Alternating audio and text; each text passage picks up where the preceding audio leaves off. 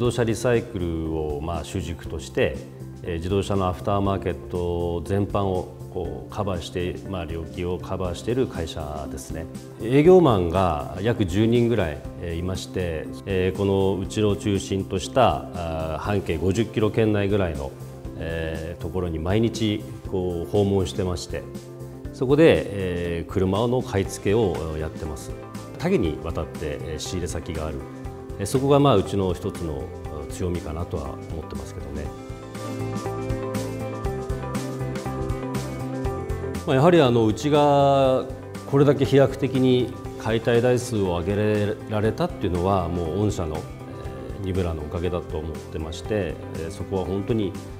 感謝しております音が静かになりましたね重機自体の音が小さくなって周りの音がよく聞こえれば何かあってもすぐ察知できる。そういうメリットあると思います。であと埃のラジエーターとかの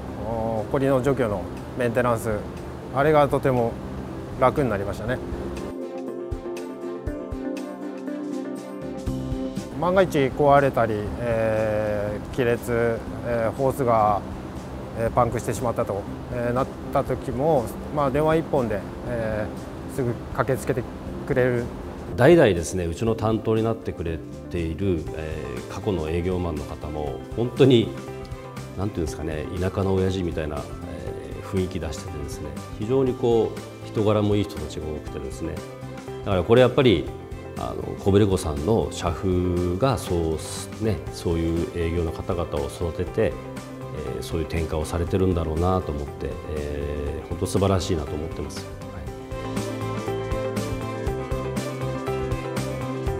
まあ、オペレーターが乗りやすい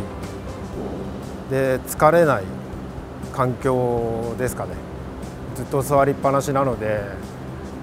まあ、どうしても体が凝り固まってきちゃうんで、